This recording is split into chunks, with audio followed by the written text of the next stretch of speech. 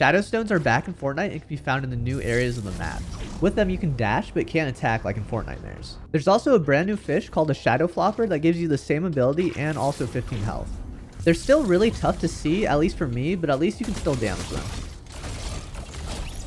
You can't interact with things like chickens and cars, but you can combine them with things like a launch pad, which can pretty much send you across more than half the map. Just make sure you look up as you're dashing.